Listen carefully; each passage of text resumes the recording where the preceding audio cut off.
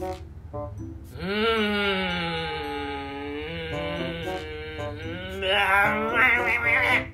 どうしたんですか？イライラして。いや実はさ今日ばあちゃんがお年玉をくれるって言うから会いに行ってきたんだよ。ちょうど買いたいものもあるしラッキーって思ってたら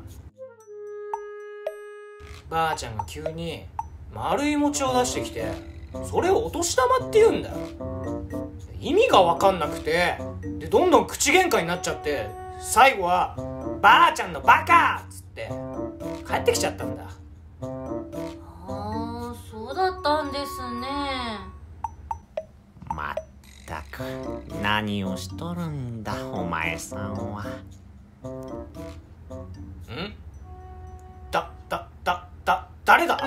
あお姉さん明けましておめでとうございます。そちらの方はタマです。はじめまして。ああはじめまして。お二人とも今日はどうされたんですか？どうもないわ。お前さんたちがお年玉についてなあもう分かっとらんようだったから。あじょああぞ。アドバイスに来たんじゃ。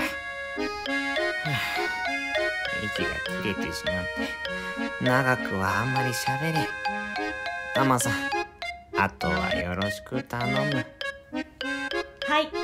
もともとお年玉は大人の方が子供の健康や長生きを祈って魂を意味する丸いお餅を渡してあげる風習が起源となっていると言われています。え？じゃあばあちゃんがしてたのって？はい。昔の風習に習った行為だったと言えますね。そんな。今のようにお金を渡す風習が主流になってまだ60年ほどと言われているのでもしかしたらおばあ様は知らなかったのかもしれませんね。ちなみに僕のこの「玉」という漢字も最初はボールのような玉ではなくおはじきのようなものを呪術つなぎにしている様子からこの形になったんですよ。へえ知りませんでしたもうばあちゃん間違ってなかったんだ。なのに俺っち。そういえば鳥羽さんはなんでそんなに怒っちゃったんですか？子供扱いしてからかってきたと思ってたんだよ。バカにされたんじゃないかって。ばあちゃん傷つけちゃった。謝りに行かないと。ばあちゃん！いる？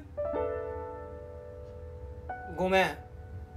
俺っちお年玉のことを勘違いしてて勝手にばあちゃんが俺っちのことをバカにしてきたんだと思っちゃってばあちゃんにバカなんて言っちゃって。あー鳥羽ちゃんまた会いに来てくれたんだね。ばあちゃんの方こそごめんな。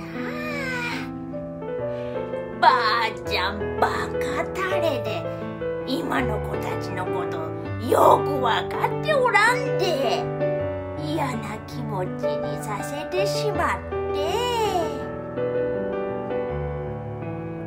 お隣さんに袋分けてもらって。これであってたかいな。ばあちゃんごめん。バカとか言って本当にごめん。ありがとう。ありがとう。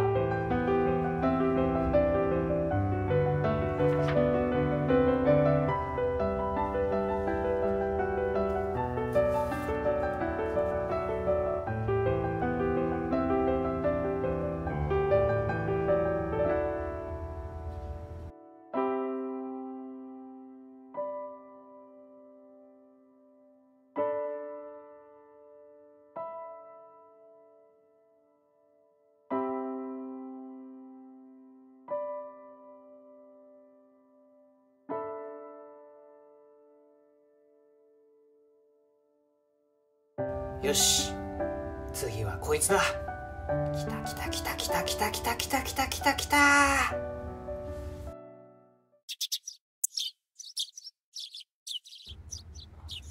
あよく寝ました。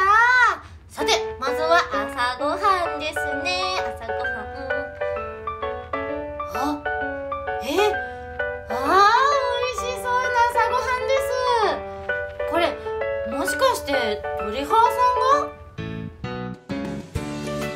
おうニッチおはよう。それ食べちゃっていいぞ。